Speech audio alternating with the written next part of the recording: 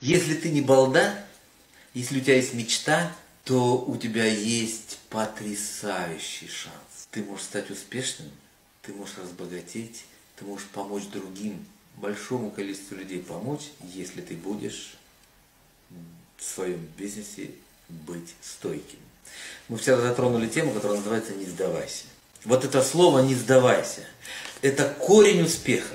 Вот если взять звено цепи, за которой надо потянуть, как, то вот это коренное звено я бы назвал словом «не сдавайся».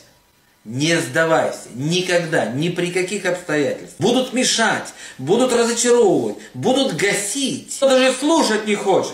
Это обычное дело. Через это надо пройти. Не уподобляйся таким людям, это несерьезно. А вот в сетевом бизнесе можно за 2-3 года серьезной напряженной работы стать миллионером.